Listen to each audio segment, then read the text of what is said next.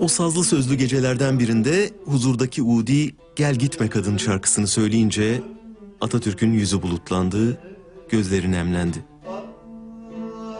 Sofradakiler gözyaşlarını görünce onu yalnız bıraktılar. Ertesi sabah manevi kızı Sabiha Gökçen geldi yanına. Dün niye ağladınız o şarkıda diye sordu. Atatürk hüzünle cevapladı.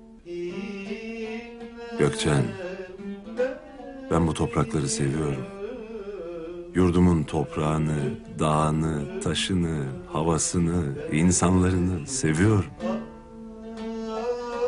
Bazı şarkılar bana bir gün bu insanlardan kopacağımı hatırlatıyor. İşte o zaman içime bir ateş düşüyor. Ve bu ateş sonradan gözyaşı olarak akıp gidiyor. Unutma ki Mustafa Kemaller de insandır. Ve onlar da zaman zaman ağlamak isterler.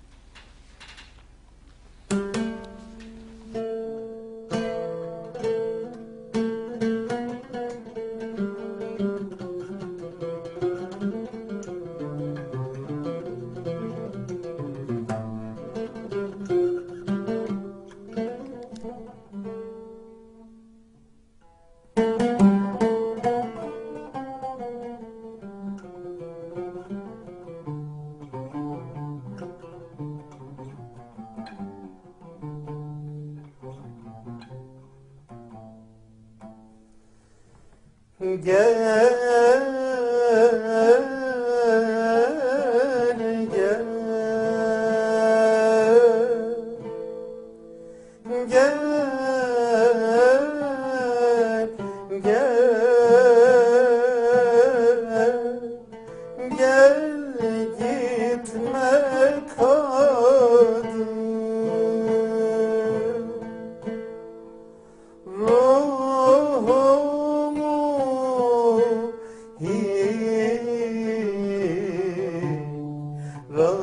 hicranına yakma hicranına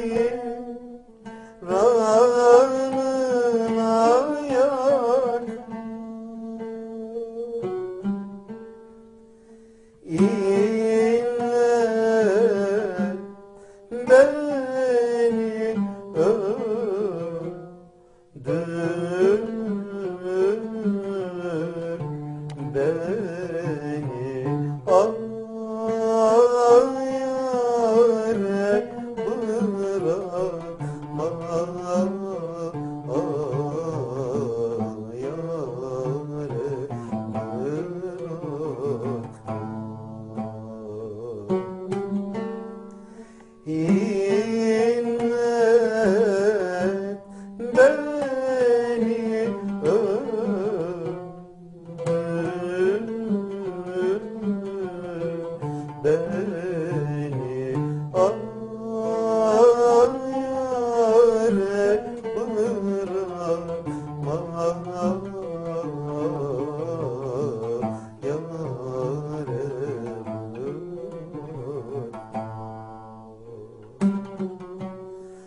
Aman